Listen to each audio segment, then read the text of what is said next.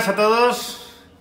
Estamos viviendo unos días en los que se está confirmando el relevo generacional a nivel de Europa en cuanto a sus estrellas, ¿no?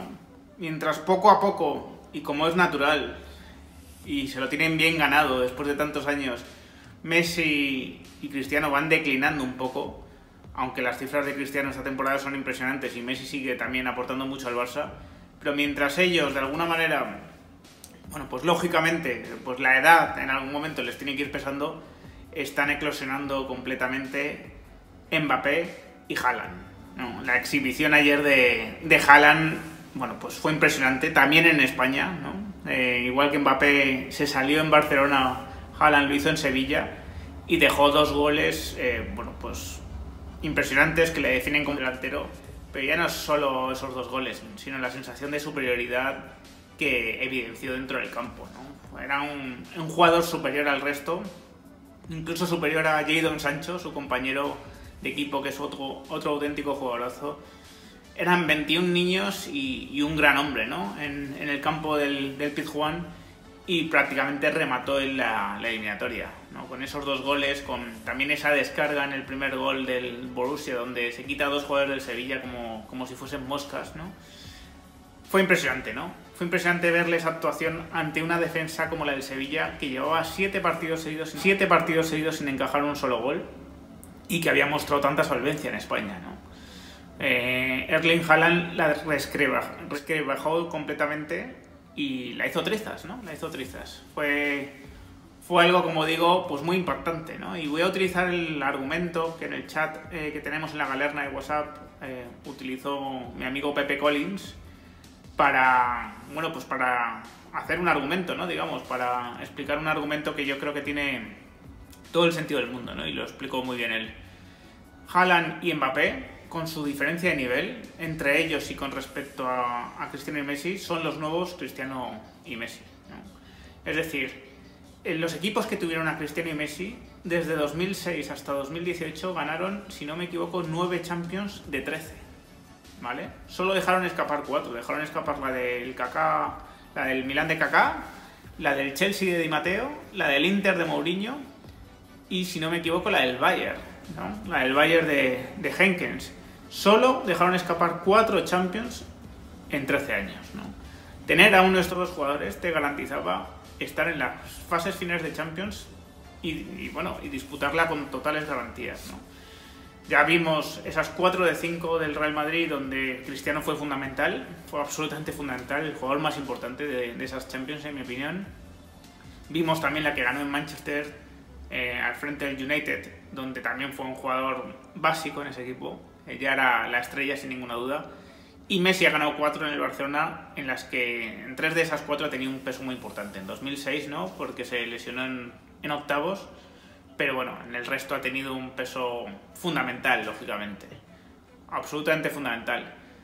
Por lo tanto, fichar a uno de estos dos jugadores es una necesidad y es al mismo tiempo una, una salvación. No es algo que te puede acercar mucho a la disputa de los títulos. Evidentemente, no vale con fichar a Haaland o Mbappé y descuidar el equipo. ¿no? Tú tienes que hacer un buen equipo que les arrope, ¿no? como Messi tenía un gran equipo en Barcelona, como Cristiano tenía un gran equipo en el Madrid. Hay que rodearles bien, hay que potenciarles, pero evidentemente estos jugadores marcan las diferencias. ¿no? Y no quiero comparar su nivel al de Messi y Cristiano porque probablemente no vayan a llegar a ese nivel. En el otro caso estamos hablando de dos jugadores históricos, dos jugadores pertenecientes al top 5 mundial de toda la historia pero es que no, no va a hacer falta que lleguen a ese nivel, ¿no? Con que sean tan superiores sobre el resto, como lo están, como parece que lo pueden ser durante la próxima década, es más que suficiente, ¿no? Y digo que a estos jugadores hay que rodearles muy bien, pero también estos jugadores van a potenciar y van a mejorar a sus compañeros, ¿no? En el Barça de Messi y en el Madrid de Cristiano, evidentemente es como, como he dicho antes, estaban rodeados de jugadores de élite mundial, auténtica, ¿no? Pero la evolución de estos jugadores hacia la élite mundial también seguramente se vio acelerada o favorecida por estar conviviendo con, dos genios históricos, ¿no? con dos genios que exigen a sus compañeros un nivel de perfección tan grande pues que en algunas ocasiones se acaba alcanzando. ¿no? Por tanto, bueno, nos espera un verano divertido porque cada vez parece más claro que el Madrid se va a lanzar a por uno de estos dos jugadores. Creo que va a ser fundamental a nivel deportivo, que va a ser también fundamental a nivel económico, es decir, estos jugadores producen ingresos, atraen aficionados, atraen a sponsors, son jugadores que marcan, ¿no? que marcan la tendencia ¿no? de lo que puede ser la próxima década. Yo no descarto que aparezcan nuevos jugadores que también se puedan igualar a estos, ¿no? pero, pero venimos de un binomio tan claro con Cristiano y Messi que, bueno, pues que el paralelismo asusta, ¿no? Desde luego. Y asusta más todavía perder la oportunidad de tener como mínimo uno de estos dos, ¿no? Obviamente lo ideal sería poder acceder a estos dos, a los dos jugadores, pero eso, eso es complicadísimo, ¿no? Es complicadísimo y seguramente el equipo que lo consiguiese, bueno, pues tendría mucho ganado, ¿no? En, los próximos 10 años. Vamos a ver em, qué diferencias puede haber entre uno y otro, porque yo ayer en mi pestaña de comunidad dejaba una encuesta con una pregunta muy sencilla y, el resultado pues ha sido, ha sido sorprendente, ¿no? Eh, os, ponía, ¿qué preferís? ¿Mbappé por 150 o Haaland por 100, ¿no? Por, por simplificar un poco, ¿no? De alguna manera. Y ganó la opción de, salvo que esté cambiando en estos momentos, ganó la opción de Mbappé por 150, ¿no? Lo revisaré cuando edite el vídeo, pero creo que ahora mismo era un 60-40 más o menos. Vamos a ver qué posibilidades y qué diferencias hay entre fichar a uno y otro. ¿no? Em, como sabéis, el asunto de la, masa salarial condiciona mucho todo. ¿no? La masa salarial está formada por los salarios de los jugadores más las amortizaciones de los jugadores. Ya os expliqué lo que era la amortización. La amortización es que si tú fichas a un jugador por 100 millones y le haces un contrato de 5 años, cada año te das un gasto de 20 millones, ¿vale? Que tiene que ver con la amortización del jugador.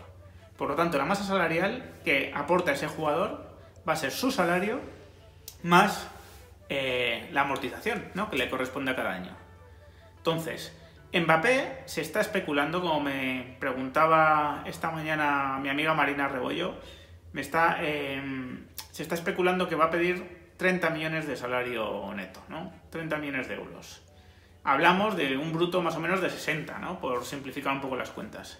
Si a esos 60 eh, le sumamos la amortización anual de lo que supondría ficharlo por 150 millones y un contrato de 6 años, por poner un ejemplo, tendríamos que la amortización de cada año serían unos 25 millones. 25 por 6 años son 150. Por lo tanto, tendríamos que la aportación de Mbappé a la masa salarial sería de 85 millones. 85 millones. En cambio, Haaland se está hablando de un precio de traspaso aproximado de 100 millones, pongamos por caso, y de que pongamos que pidiese el jugador más o menos ganar lo que gana el jugador que más gana en la plantilla del Madrid, que son unos 12 netos más o menos, pongamos 25 brutos para intentar simplificar un poco el tema. Bueno, esos eh, la amortización serían un contrato de 6 años, 100 millones, aproximadamente unos 16, ¿vale? Más los 25 de salario, 41. Estamos hablando que entre Mbappé y Haaland uno aporta 85 a la masa salarial y otro 41, ¿no? Esto da buena cuenta de que es mucho más fácil, en, los términos que estoy hablando, fichar a Haaland que, que Mbappé, ¿no? Sin ninguna duda. Porque ya no es un problema del precio de traspaso. Entre 150 y 100 millones no es, no es lo dramático, no es la, la enorme diferencia. El Madrid no tiene grandes problemas de liquidez a pesar de la pandemia. Tiene líneas de crédito concedidas, tiene pólizas tiene posibilidad de afrontar ambos fichajes. El problema es su aportación a la masa salarial. ¿no? El salario influye mucho en, el encaje del jugador en la plantilla. ¿no? Porque además un jugador que entra ganando mucho más que el resto, lógicamente también condiciona a lo mejor el salario de otros jugadores que aspiran a acercarse a eso. ¿no? Aún así, siempre sabéis mi opinión, para mí Mbappé es un jugador más especial que, que Haaland. Creo que ambos son un acierto seguro en caso de ficharse pero creo que Mbappé es un jugador más autosuficiente, ¿no? Y con más, más grandeza de alguna manera en cuanto a marketing también, ¿no? En cuanto a icono. Pero ya digo, es que cualquiera de los dos sería un acierto increíble, ¿no? Pero a cuando empiecen a llegar las noticias, que ya están llegando, lógicamente, y cuando empecemos a hablar de esto con más intensidad, siempre tenéis que tener en mente esto que os he comentado, ¿no? Sobre lo, lo que supone fichar a uno y otro a nivel económico dentro de la plantilla, ¿no? Si el Madrid este verano puede tener la previsión realista de que el año que viene va a volver el público y por lo tanto se van a ir recuperando poco a poco los ingresos, obviamente podría dar cabida a, a Mbappé, ¿no? Sin, sin demasiados problemas, ¿no? Pero si no es así, si no es así, para nada puede ser descartable que el Madrid vaya por Haaland este verano, como dijo Pereiro el otro día, y os informe aquí, y rece y le pide a Mbappé por todos los medios que aguante un año más sin renovar para llegar por dos- a- en 2022 libre. Porque fijaos la diferencia de si Mbappé llegase libre en 2022. Hablamos de que su contribución a la masa salarial pasaría de ser de 85 millones a 60, ¿no? Teniendo el mismo salario de 30 millones netos. Ya es una diferencia. Ya se parece más eso a, a los 41 de Haaland. Ya es un año más en el que probablemente se habrán recuperado los ingresos. Ya está más cercano también el nuevo Bernabéu y sus 100, 150 millones adicionales. Así que mm, hay que ir a por uno de estos dos como sea. Son los dos grandes bichos que pueden dominar la, la siguiente década. No me gusta ser tampoco excesivamente categórico. Puede aparecer mañana un gran jugador que se iguale. Puede uno de los jóvenes del Real Madrid explotar hasta tal punto de, ser un jugador comparable. No hay que ser tan categórico. Pero ahora mismo la perspectiva que yo creo que es fácilmente eh, vislumbrable es que estos dos jugadores eh, van a darle a los equipos que los tengan muchas posibilidades de dominar en Europa los próximos años y por lo tanto deben ser objetivos prioritarios del Real Madrid. Sin más, os dejo, espero vuestros comentarios. Si os ha gustado el vídeo, darle a me gusta, eh, suscribíos los que no lo estáis y nos vemos en el siguiente vídeo. Un abrazo.